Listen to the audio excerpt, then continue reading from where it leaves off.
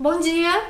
Hoje nós vamos para o último preconceito contra os gatos, o 15 que diz: Os gatos incomodam os donos na madrugada. Eu já fiz um vídeo específico sobre isso. Eu vou deixar o link aqui, por favor, assistam. Eu vou deixar o do mau comportamento também, que eu já linkei em outro vídeo.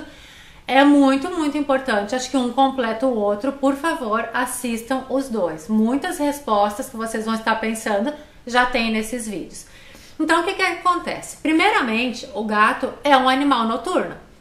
O gato dorme boa parte do dia e à noite ele tá a mil, né? Ele tá, ele quer brincar, ele quer ficar acordado, porque é da espécie ficar acordado à noite. Isso é da natureza do gato. Mas daí a pessoa trabalha fora o dia todo. O gato fica sozinho, ele fica sem nada para fazer. Então ele fica entediado, ele dorme o dia inteiro. Quando a pessoa chega em casa, o gato fica feliz da vida. Porque, né, o dono chegou, o papai chegou, a mamãe chegou, eu quero atenção, eu vou brincar. Então a pessoa mal chegou, o gato já começa a fazer bagunça, já começa a pular, já começa a correr. É porque ele tá feliz e porque ele precisa gastar energia.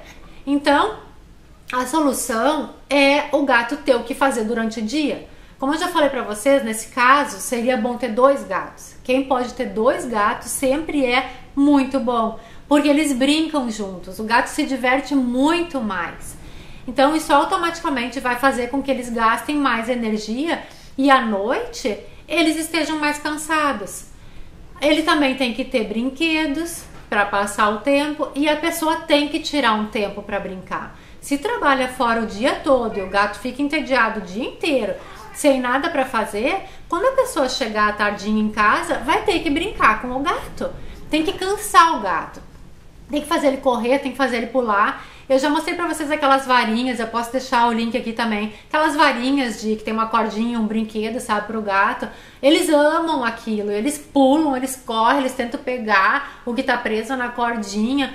Então é uma boa opção para brincar com o gato. O gato tem que brincar, ele tem que correr, ele tem que gastar energia. Se ele passar o dia inteiro sozinho, sem fazer nada, e à noite a pessoa chega, mal dá um oi pro gato e vai dormir, é lógico que ele vai incomodar.